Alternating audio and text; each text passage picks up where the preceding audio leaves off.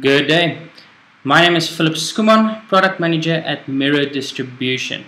And today I would like to introduce the latest member joining the MiRO product portfolio, which is Netonix's range of DC powered PoE switches. So for those of you that are not familiar with the brand as of yet, Netonix is one of the leading switch manufacturers worldwide, specializing in solutions for the wireless internet service providers, or WISPs for short. These switches feature a rugged chassis, a wide operating temperature range, and an extremely easy to use and feature-rich user interface. You also get gigabit Ethernet and SFP ports, non-blocking throughput switching performance, and software configurable passive PoE output with current sensors. So each of these ports can be individually configured to one of the following options. The first one is 24 volt PoE um, output over two pairs.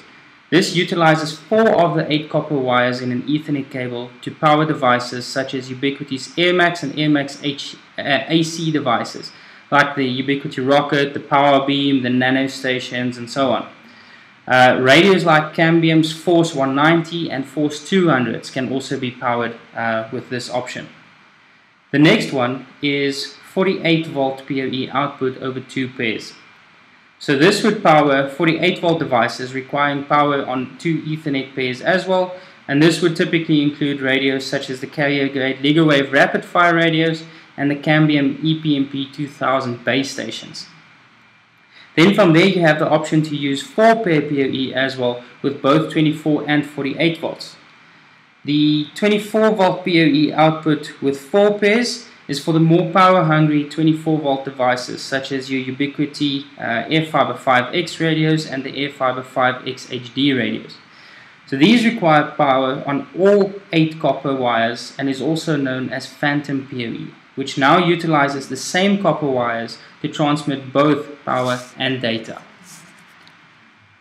And then the last option is 48 volt PoE output over 4 pairs and this is what your high-end carrier grade and microwave radios such as SIAE and Radwin would need to operate. So some PTZ or rather speed dome cameras would also require this type of uh, power input. Then let's look at uh, what we stock at MiRO. So we decided on the following three Netonix switches. First up, the WS8150DC. Uh, next in line is the WS12250DC and then last but not least is the WS26400 IDC. So let's look at each of them uh, briefly.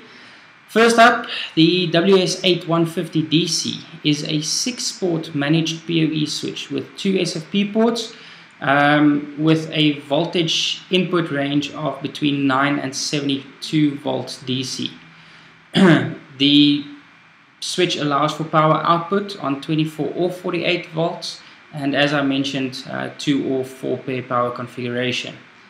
It gives you up to 150 watts power budget and is desktop, uh, desktop or wall mountable. The next one, the WS12250DC, is a 12-port managed PoE switch with two SFP ports and an input range of 9 to 72 volts DC. Again, 24 or 48 volt PoE output, either 2 or 4 pair configuration. This allows for 100 watts more on the power budget, which gives you up to 200 250 watts. It is desktop, wall mount, or even rack mountable if you do decide to purchase the optional uh, rack mount kit, which is the NTX uh, RMK250. And then Last of the switches we stock is the WS26400 IDC, which is a 24-port managed PoE switch with two SFP ports. And in this case, it has a power input of between uh, 36 volts and 72 volts DC, either positive or negative input, whereas the other two switches are only positive input. Again, it gives out power on 24 48 volt PoE, 2 or 4 pairs. It now allows for up to 400 watts of uh, power budget. It is desktop wall mountable or the same as the previous one, uh, rack mountable if you do decide to purchase the optional NTX RMK26 rack mount kit. So that's it for the hardware. Now let's look at some of the software features of the Netonix DC switches, uh, which is all obviously accessible via the easy to use interface. So some of the highlights here are the bandwidth limiting per port, uh, STP or RSTP, which is spanning tree protocol or rapid spanning tree protocol, port moving, VLAN with trunking, uh, port isolation, ping watchdog per port, cable diagnostics, IGMP snooping, and DHCP snooping. Then from there, let's look at some of the power options. So even though it is a DC powered switching solution, you can power these uh, Netonix switches via DC as well as AC power.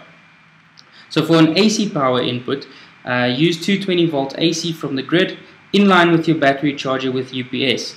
This in turn would charge your battery solution and power your Netonix switch with a voltage range between 9 and 72 volts DC as I mentioned. From there the switches allows for PoE output on either or both 24 and 48 volt, both 2 pair and uh, 4 pair PoE as I mentioned as well. And then lastly, for a DC solution, the power input will be something like a solar solution connected to a voltage regulator charging the battery setup. From here, a voltage range of between 9 to 72 volts DC is accepted for powering up the Netonix switch. And as previously mentioned, then you have a 2 pair or 4 pair PoE power output on both 24 and 48 volts. So that is it from our side.